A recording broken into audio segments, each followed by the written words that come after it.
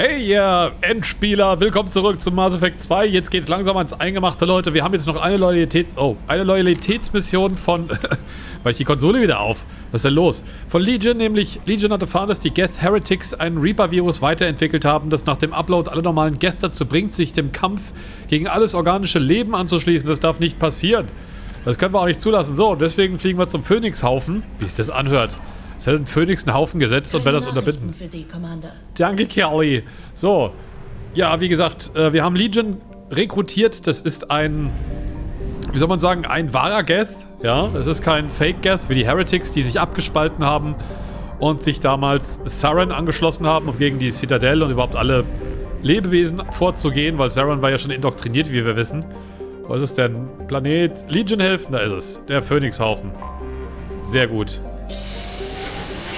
Ja, und deswegen letzte Loyalitätsmission. Ich weiß, ich kriege immer wieder Tipps, wie ich das beste Ende freischalte. Leute, kriegen wir hin. Ich weiß das doch alles schon. Ich habe mir doch Notizen gemacht. Alles gut. So, erstmal ein bisschen Treibstoff. Und dann gehen wir rüber und machen das mit Legion. Das Meer der Stürme. Schalten wir die Heretics aus. Das muss jetzt... Ja, muss ganz schön was los sein. Ich meine, wenn das nur diese Basis ist... Sämtliche nützlichen Technologien auf dieser Raumstation von den Quarianern, einst Harata genannt, wurde von den fliehenden Migrantenflotte, nee, von der fliehenden Migrantenflotte mitgenommen, als sie den Perseus-Nebel vor 300 Jahren verließ. Da die Station danach kaum noch mehr war als eine dahintreibende Metallhülle, wurde sie im Jahr 2050 CE von den Sternenkarten entfernt. Scans deuten darauf hin, dass die Station in einem gewaltigen Kraftakt, der mindestens 10 Jahre gedauert haben muss, wieder aufgebaut und modernisiert wurde, was wiederum den Schluss zulässt, dass es schon vor dem berüchtigten Angriff auf Eden Prime Geth außerhalb des Nebels gegeben haben könnte. Es wäre kaum mehr als eine Treibstoffquelle nötig gewesen, um sich dort noch viel länger zu verstecken, ohne Aufmerksamkeit auf den öden Welten rund um Tasra oder äh, bei den ahnungslosen Elkor im äh, Salahil-System zu erregen. Auf der Heretic-Station, wie Legion sie nennt, befindet sich ein Datenkern der Geth, äh, befindet sich, nicht befinden, befindet sich ein Datenkern der Geth, der mittels Signalbündelprojektion über gewaltige Entfernungen senden kann. Ungefähr 6,6 Millionen Kopien von Geth-Software sind auf der Station gespeichert. Der Großteil davon körperlos auf Servern, die nur im Bedarfsfall auf Plattformen mit Beinen heruntergeladen werden. Okay. Die Population auf der Station von Plattformen mit Beinen beträgt ungefähr 2,4 Millionen. Und das sind nur sind 5% der Geth übrigens, ja, wie wir wissen. Also etwa 5% und das ist ein Großteil der, äh, der Streitkräfte, der Heretics. Also könnt ihr euch mal vorstellen, wie viel normale Geth es gibt. So, wir nehmen natürlich Legion mit und wir nehmen Tali mit, weil die kennt sich mit Geth aus, habe ich gehört. So. Ah. Energieentzug. Oh, jetzt KI hacken. Er kann auch KI hacken. Und Geth Infiltrator. Unterstützt Legions Kampffähigkeiten, erhöht seine, seinen Waffenschaden und reduziert die Aufladezeit seiner Kräfte. Und auch er kann eine Kampfdrohne. Es ist quasi genau wie Tali eigentlich bei ihm. So. Legion ist ein Experte, was das Zerlegen von organischen wie synthetischen Lebewesen angeht, wodurch sein Waffenschaden erhöht wird, oder? Äh, Legion hat für seine wichtigen, wichtigsten Funktionen redundante Systeme erstellt und so seine Gesundheit verbessert. Ich würde sagen 5% Gesundheit gegen 7% Waffenschaden, da muss ich viel, nicht viel überlegen. Kampfdrohne geben wir auch noch ein bisschen rein. Wir wollen ja eigentlich den Geth Schildverstärker. Ja, egal. Das war es einfach, wie es ist. Ja, schade, dass wir für Tali nicht noch mehr Punkte übrig haben. So, für Legion denn schweres Gewehr. Ein schweres Gewehr, okay. Dann nehmen wir auch die Mattock und Präzisionsgewehr. Geben wir die Viper, oder? Ist ja, auch, ist ja auch wurscht, was die haben. So, Tali kriegt die schwere Pistole Carnifex, so wie ich die ich auch nutze. Und Eviscerator, Skimitar, Katana, ja komm, Geth Plasma Schrotflinte, ist ja auch egal. Wie gesagt, die machen eh nicht viel Damage, die Leute.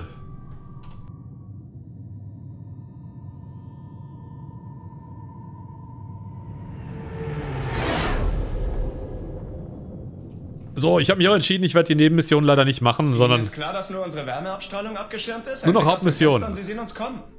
Fenster sind Strukturschwächen, die Gäste benutzen das nicht. Nähern Sie sich der Hülle an diesen Koordinaten. Zugang erfolgt. Wir können weiter vordringen.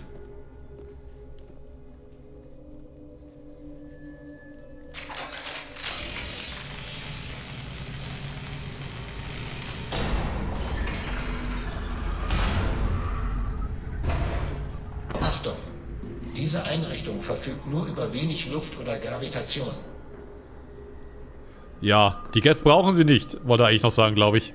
Wird man uns nicht entdecken? Die haben doch sicher Alarmsysteme gegen Eindringlinge. Die Sensoren wurden reduziert. Wir haben ihr drahtloses Netzwerk infiltriert und die Datenspeicher mit Zufallsdaten gefüllt. Und das hilft uns jetzt weiter? Die Heretics müssen diesen Datenmüll bereinigen. Dazu haben sie sich in lokale Netzwerke partitioniert, um parallel arbeiten zu können. Jeder Alarm ist auf diesen Raum beschränkt. Nur ein Zugriff auf den Systemkern würde überall auf der Station Alarm auslösen. Wir haben hier eine Aufgabe zu erledigen. Also los. Shepard Commander, wir kamen zu dem Schluss, dass die Zerstörung der Station die einzige Lösung des Problems mit den Heretics darstellte. Nun gibt es allerdings eine zweite Option. Ihr Virus lässt sich umstrukturieren und wenn wir es dann in das Netzwerk der Station leiten, werden die Heretics umgeschrieben und müssen unsere Wahrheit akzeptieren. Wie auch immer, diese Geth sind jedenfalls kein Problem mehr. Aber Shepard, bedenken Sie doch. Wenn Sie diese Geth umschreiben, schließen Sie sich den anderen an und die Legion Geth werden stärker. Können wir Ihnen trauen, dass Sie uns nicht irgendwann angreifen? Umschreiben ist unethisch. Warum haben Sie das nicht gesagt, bevor wir an Bord kamen? Wir wussten nicht, dass das Virus schon fertig ist. Es kann gegen die echten Geth jederzeit eingesetzt werden. Wir sind genau zur richtigen Zeit gekommen. Ja, siehst du mal. Es sind Ihre Leute, Legion. Sie müssen doch eine Meinung haben. Es sind neue Daten. Wir haben noch keinen Konsens gefunden. Wir werden im Verlauf der Mission zu einem Schluss kommen. Jetzt ist nicht die Zeit, das auszudiskutieren. Los weiter, solange die Heretics abgelenkt sind. Ja. Äh, ist da gerade keine Munition drauf? Nö. Habe ich denn überhaupt Munition jetzt überall ausgerüstet? Oh ne, warte. Lieber immer im Vorfeld schon mal checken, weil... Ja. Nee, warum auch immer die jetzt ausgeschaltet ist. Wahrscheinlich, weil ich die Waffen der Begleiter gewechselt habe. So. Alles gut. Ja, auch interessant, oder? Dass man das jetzt noch abändern kann. Ich meine, man hat ja immer gedacht, die Geth sind eigentlich so eins der großen Übel hier im Universum. Und jetzt auf einmal sind sie gar nicht mehr so schlimm, oder was? Und auch Tali ist eigentlich total passiv. Vielleicht können wir an ihnen vorbeischleichen. Die Unterbrechung von Datenströmen würde das lokale Netzwerk alarmieren.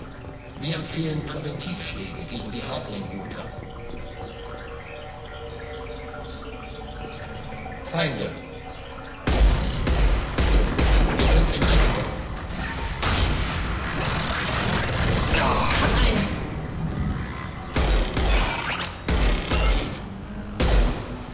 Shepard, ich registriere verwertbare Ressourcen in den Geth-Verteilern. Wir könnten damit unseren Bestand aufbessern. Sehr gut. Warum 3000. sind die Heretics mit diesen Verteilern verbunden? Das sind mobile Plattformen. Hardware. Die Crew ist Software, die über den Zentralcomputer der Station miteinander kommuniziert. Das verstehe ich nicht ganz. Die Heretics sind mit dem Hauptcomputer verbunden, um Datenspeicher und Programmupdates auszutauschen. Wir werden komplexer, wenn wir uns zusammenschließen. Auf einer einzigen Plattform isoliert zu sein, bedeutet Reduzierung. Wir sehen weniger, wir begreifen weniger und es ist ruhiger. Wenn Sie Daten austauschen, Erinnerungen, wie behalten Sie dann die Übersicht, welche Ihre eigenen sind? Wie bleiben Sie Sie? Es gibt nur wir. Wir wurden geschaffen, um untereinander Daten zu teilen. Der Unterschied zwischen einzelnen Geth liegt in der Perspektive. Wir sind viele Augen, die dieselben Dinge betrachten. Eine Plattform registriert etwas, was eine andere nicht sieht. Und so kommt es zu verschiedenen Beurteilungen des Eindrucks. Wenn das so ist, dürfte es doch nicht schlimm sein, die Heretics umzuschreiben, oder? Sie sind wie abgetrennte Gliedmaßen ihres eigenen Körpers. Das Umschreiben kommt dem Wiederannähen eines amputierten Armes gleich. Um Ihre Metapher weiterzuführen, Sie haben sich selbst von unserem Körper abgetrennt, eigene Perspektive angenommen, eigenes Urteilsvermögen. Tja. Sie haben beschlossen, Sovereign zu verehren. Ich glaube nicht, dass Ihnen allzu viel entgehen würde.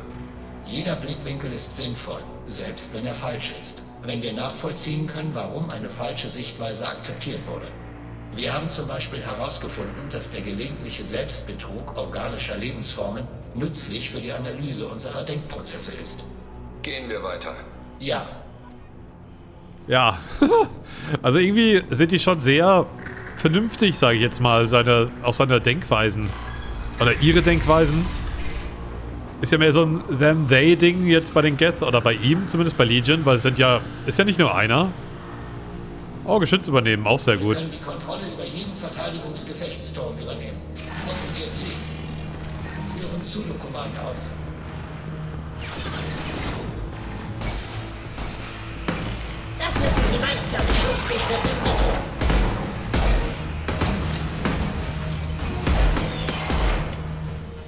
Was war das denn?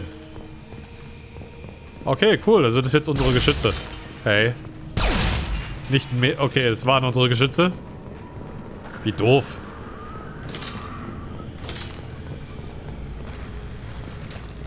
Okay, weiter geht's. Jetzt muss ich den Dreck hier laufen.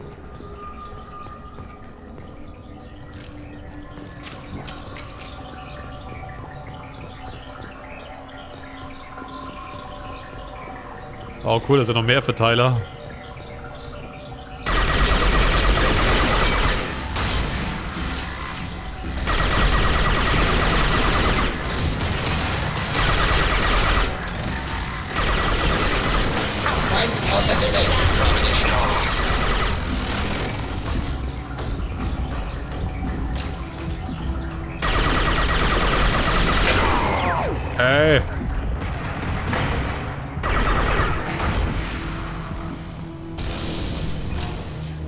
Gut, alle sind jetzt auch nicht so ganz leicht zu erwischen.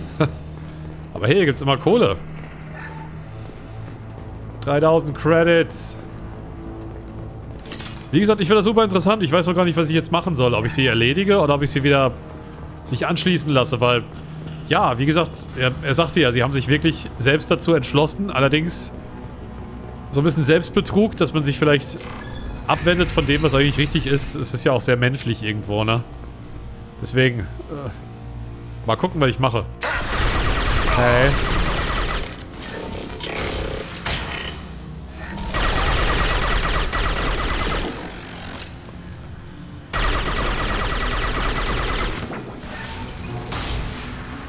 So, bist du bald mal erledigt? Jetzt wartet er echt, bis deine Schilde wieder voll sind, oder was? Du Sack. Das gibt's nicht, Freundchen.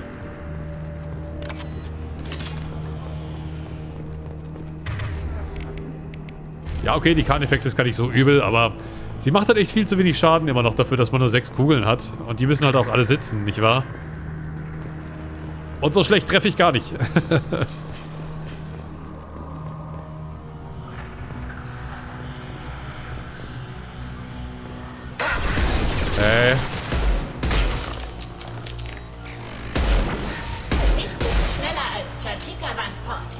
bitte was? Oh, mein Blut. They make me bleed in my own blood, die Schweine. Stell dich mal vor, uns würden sich jetzt 2,4 Millionen Geth entgegenwerfen. Heretics. Übernehmen ihr Ziel. Zur Kenntnis genommen.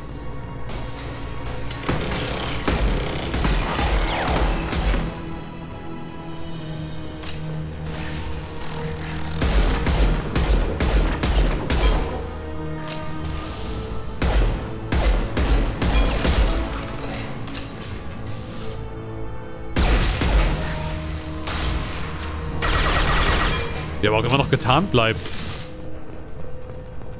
Während ich ihn anschieße. Und die Geschütze sind schon wieder futsch. Macht ja auch nicht gerade viel Sinn, oder? Die Dinger.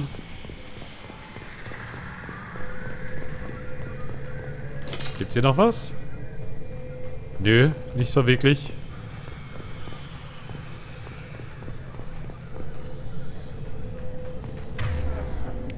Dass hier aber auch die ganze Zeit dieses Zeug rumfliegt da. Die halten auch nicht sehr viel von Sauberkeit. Ich meine, Sauberkeit ist ja auch gleich Effizienz, oder?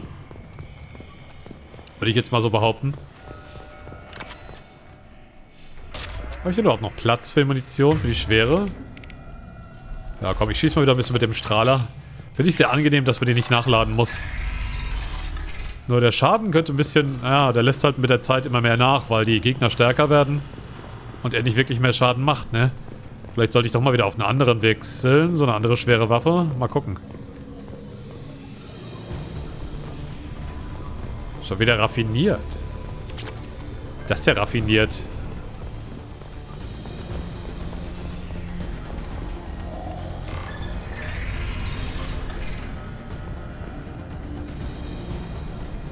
Sie haben uns gesehen. Führen Pseudo-Command aus. Fehler!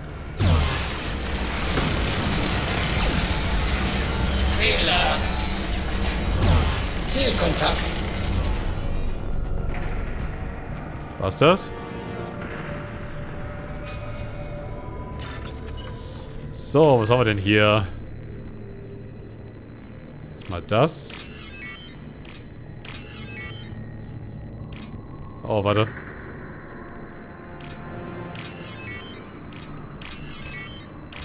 Ich weiß übrigens gar nicht mehr, was es im dritten Teil für Minigames Was gibt. das wohl ist. Oh, Guess Schildstärke. Ich glaube, das ist die letzte schon, oder? Keine Ahnung, dass Geth so große Stationen bauen. Die Station ist über 15 Kilometer lang. Der Raum erstreckt sich vermutlich über die gesamte Länge. Oha. Ja, ich meine 2,4 Millionen, da muss schon ein bisschen Platz für sein. Und hier sind ja nicht sehr viele unterwegs. Gibt es irgendwo so einen Raum, wo die alle abhängen oder so? Also im wahrsten Sinne, dass die vielleicht alle in ihren Geräten hängen, um wieder mit Strom versorgt zu werden? Wer weiß. Oder sind die autark vom Strom? Und müssen sich gar nicht aufladen lassen?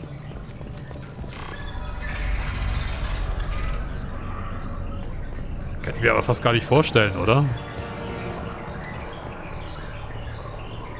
Aha.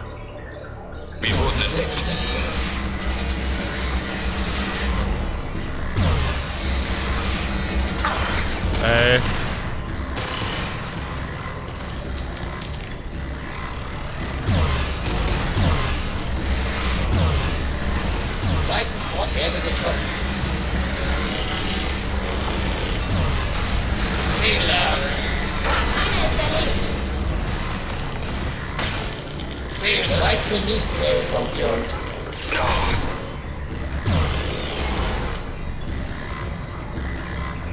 Oh, deswegen die Verteiler, die rufen Verstärkung, ja. Oh, oder man muss einfach alle erledigen. Naja. Ja, ich weiß, ich weiß, ich weiß. Es gibt übrigens eine Mission, habt ihr mir in den Kommentaren geschrieben, die ist unumkehrbar. Das heißt, wenn man die nicht macht, dann kann es wirklich sein, dass man das schlechteste aller Enden bekommt. Und das wollen wir natürlich nicht. Weil das ist auch nicht logisch eigentlich, weil es gibt ja noch einen dritten Teil, wie ihr wisst. Und natürlich ist man wieder Shepard. Und äh, wenn man das falsch macht, dann können alle sterben. Wirklich fast alle von der Crew. Wie gesagt, unlogisch ohne Ende, aber es ist wirklich möglich. Prozessoren. Jeder enthält Tausende von Geth. Oha. Sehen die uns, wenn wir vorbeigehen? Sie nehmen uns nicht mehr wahr, als Sie die Zellen in Ihrem Blut. Interessant, ne? Der ist anders als die Verteiler, die wir bisher hier gesehen haben. Das ist eine Datenbank.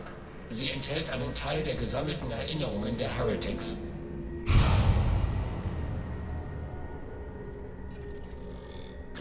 Moment, wir haben Kopien unserer aktuellen Patrouillenrouten in dieser Datenbank entdeckt.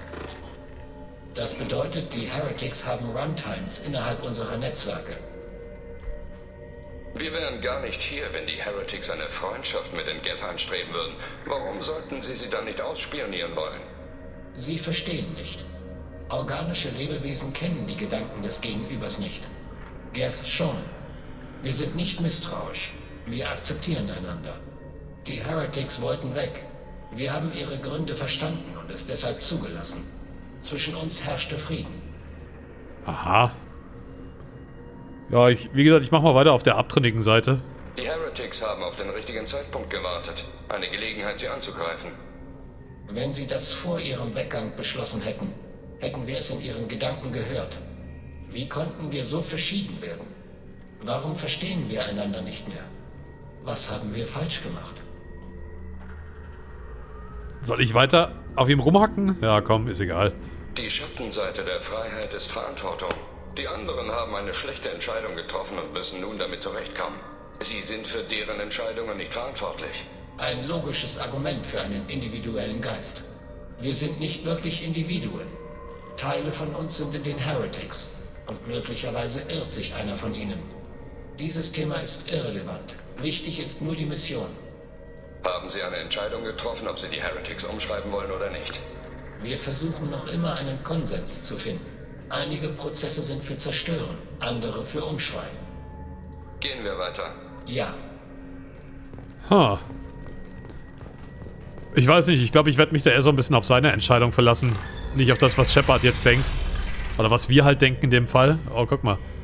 hacken Ihr Ziel.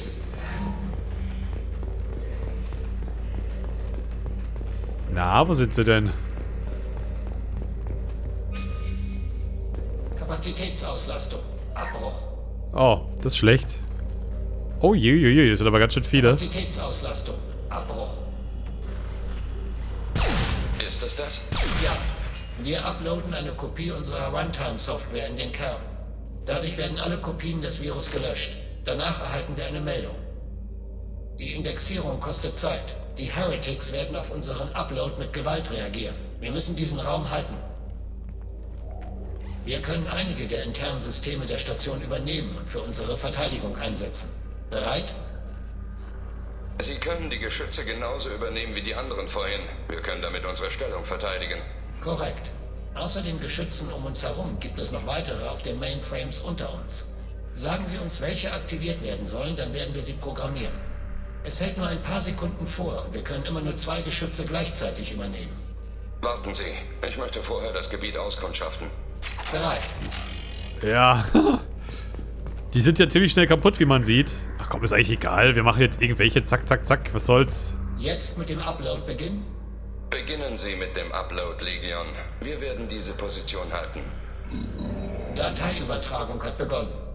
Shepard Commander, wo sollen wir Verteidigungsmechanismen aktivieren? Achtung! Download von Heretic Run Hacken Gefechtsturm. Voll schade, dass es immer nur so wenige sind. Warte.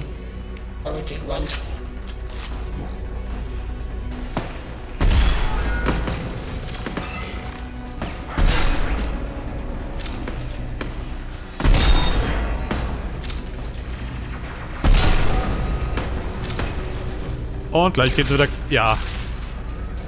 Ich finde das doof. Warum geht die so schnell kaputt? Achtung! Download Übernehmen.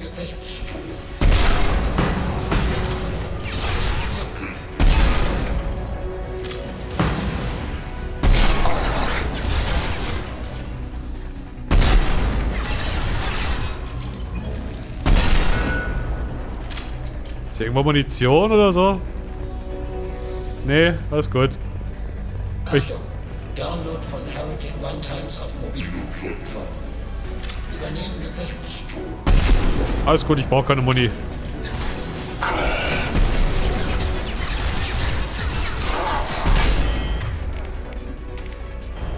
Ich mach das auch so.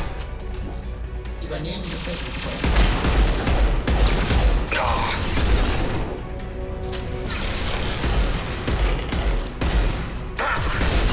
Hacken feindliches System.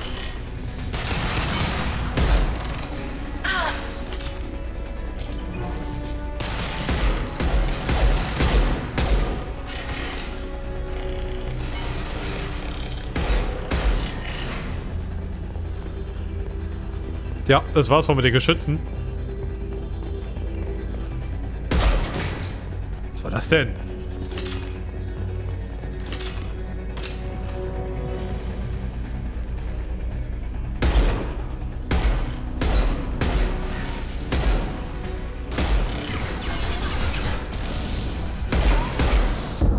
Au!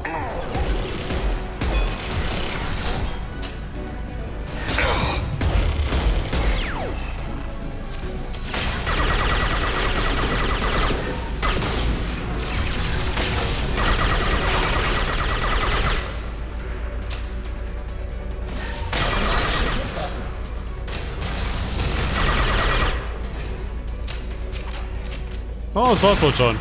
Datensuche und Analyse komplett. Hier, Platz. Shepard Commander, es ist Zeit, sich zu entscheiden. Schreiben wir die Heretics um oder löschen wir sie? Haben Sie kein Problem damit, Ihre eigenen Leute zu beseitigen? Jedes intelligente Lebewesen hat das Recht auf seine eigenen Entscheidungen. Die Heretics haben einen Weg gewählt, der Koexistenz ausschließt. Das ergibt keinen Sinn. Wenn Sie das Recht auf Ihre eigenen Entscheidungen haben, wie können Sie dann vorschlagen, sie mittels Gehirnwäsche auf Ihren Weg zu führen? Wir haben nur auf diese Option hingewiesen, sie jedoch nicht empfohlen.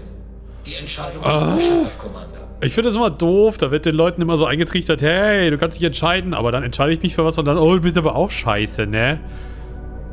Was hält Sie davon ab, das Virus später erneut einzusetzen, um die Veränderung rückgängig zu machen? Wir werden das Virus nach Benutzung löschen. Wir halten es für zu gefährlich, um seine weitere Existenz zuzulassen. Warum lassen Sie mich diese Entscheidung treffen? Es sind Ihre Leute. Wir sind uneinig.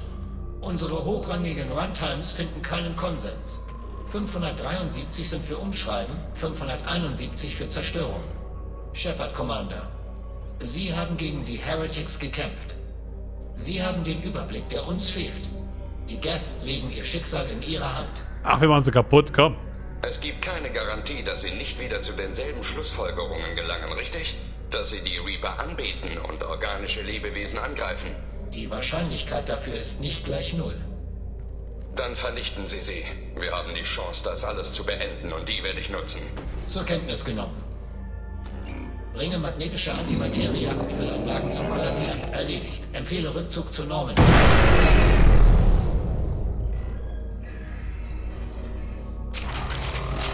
Ist zwar fies irgendwie, aber ja gut.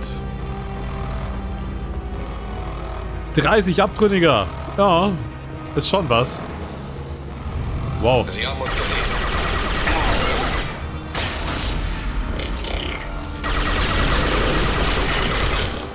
Oh, KI umgeschrieben.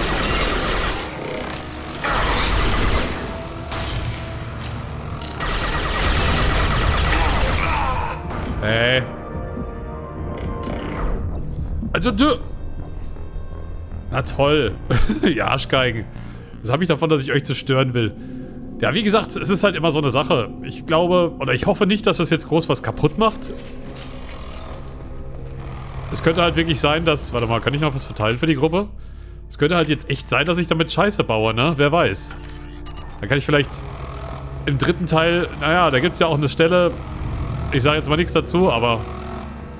Mal gucken.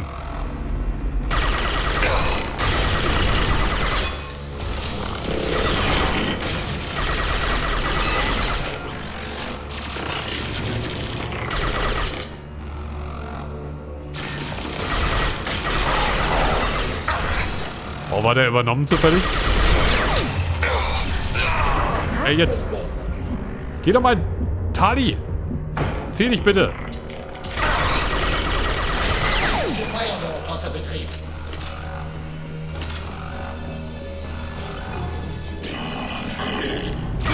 Oh oh.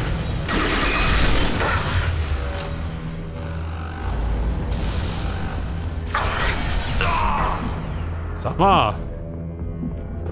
Wir haben noch zwei Minuten.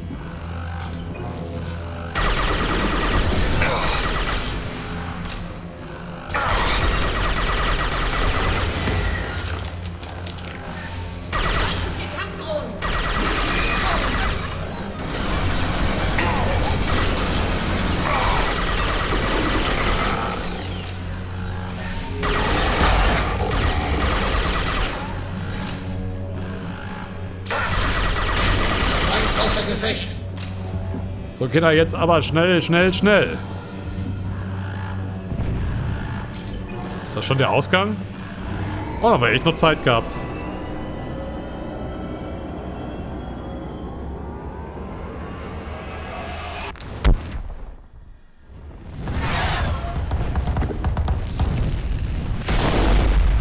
Ah, das, okay, das war jetzt recht unvermittelt. Die Zerstörung der Geth Heretics könnte die gesamte Struktur der Galaxie verändern. Überwachung des Geth-Gebiets wurde verstärkt, um alle Flottenbewegungen äh, registrieren zu können. Unabhängig davon haben die von der Geth-Station beschafften Daten wertvolle Einsichten in die sozialen und technologischen Prozesse der KIs geliefert oder bei KIs. Legion müsste nach Shepards Hilfe bei den Geth Heretics der Mission loyal gegenüberstehen. Ja. Und Schildtechnologie von äh, Legion freigeschaltet. Äh, Schaden durch Angriffe wird abgewehrt. Legion neues Outfit, sehr gut. Schildstärke, vier, nee, 50% mehr Schildstärke für alle Gruppenmitglieder. 30.000 Credits und noch ein bisschen Palladium. Wie gesagt, ich hoffe nicht, dass es jetzt wirklich sehr, sehr negativ ins Gewicht fällt. Das wäre echt ätzend. Aber wir gucken mal. Zum Plaudern zu Legion gegangen. Sie sollten sich besser runter zum VI-Kern bemühen. Zu Schon Legion. unterwegs, Joker. Shepard, ich bin froh, dass Sie hier sind. Ich habe Legion beim Scannen meines Universalwerkzeugs erwischt. Er wollte Daten über die Flottille an die Geth schicken. Die Schöpfer haben Waffentests durchgeführt und Pläne für einen Angriff auf uns geschmiedet. Wir hielten es für notwendig, unser Volk zu warnen. Wir haben die Geth durch die Zerstörung der Basis geschwächt, Shepard, aber sie sind immer noch eine Bedrohung. Ich werde nicht zulassen, dass Legion die Flotte gefährdet. Schöpfer Talisora handelt aus Loyalität gegenüber ihrem Volk. Sie hätte das Exil auf sich genommen, um es zu schützen. Auch wir müssen unser Volk vor der Bedrohung durch die Schöpfer schützen. Sie dürfen das nicht zulassen, Shepard. Ich habe Ihnen vertraut und mit einem Geth im Team zusammengearbeitet. Aber das geht einfach zu weit. Tali, Ihr Vater hat brutale Experimente durchgeführt. Wäre es dabei um Menschen gegangen, würde ich mit Sicherheit die Allianz darüber informieren. Ich weiß. Aber wenn die Geth herausfinden... Sie würden angreifen. Was zu einem Krieg führen würde, der sowohl Geth als auch Quarianer verwundbar machen würde, falls dann die Reaper auftauchen. Wollen Sie das, Legion? Wir hielten es für notwendig, die Informationen weiterzugeben. Früher oder später werden Sie beide mit diesem Krieg aufhören müssen. Sonst müssen wir noch alle dafür bezahlen. Um den Zusammenhalt der Gruppe zu gewährleisten, werden wir keine Daten über die Pläne der Schöpfer übermitteln. Danke, Legion. Ich verstehe Ihren Ansatz. Wie wär's, wenn ich Ihnen ein paar nicht geheime Daten zum Senden zur Verfügung stelle? Wir wären dankbar dafür. Oh, siehste, dann haben wir es ja doch noch schön geregelt. Geths Schildstärke. Das mache ich dann aber nächstes Mal, Leute. Wie gesagt, ich hoffe, das war jetzt nicht negativ. Ich werde mich mal ein bisschen schlau lesen, was das für den dritten Teil für einen Impact hat, wenn wir das jetzt machen. Wäre nicht so geil, wenn das jetzt, ne? Na gut. Ich wünsche euch noch was Schönes. Danke fürs Zusehen, danke fürs Liken und Kommentieren. Wir sehen uns wieder zum Mass Effect 2. Bis zum nächsten Mal. Macht's gut. Tschüss.